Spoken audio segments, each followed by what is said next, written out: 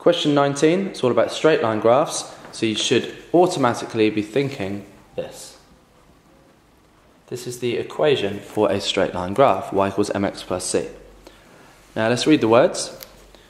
A line, so they're calling this one line 1, so line 2 is parallel. So that can look quite confusing, but it's just saying another line is parallel to this line. And it passes through 0, minus 5. Write the equation of the line.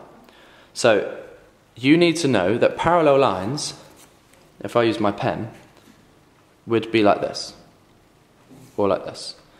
They will never ever meet.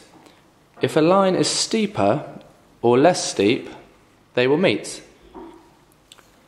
And the bit that controls the steepness, or what we call the gradient, is the m part. So that must be the same for it to be parallel. So let's find the gradient, and then we're going to keep it the same. So to find the gradient, you choose two good points. So there's a good point, and I'm going to choose this one.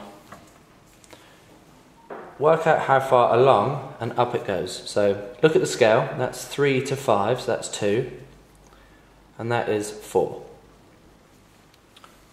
Okay, so the gradient, if I put up here, m, is always the difference in the y-axis divided by the difference in the x-axis.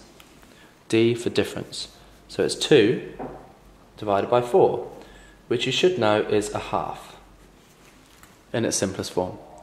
So what we actually have, and I'm going to move down here now, is y equals a half x plus c.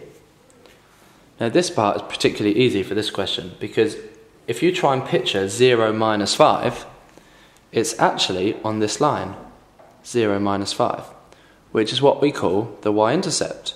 And this last part is the gradient and the y-intercept. So it's half x minus 5. They can ask you much, much harder questions than that if they don't give you the y-intercept, but that one's particularly easy.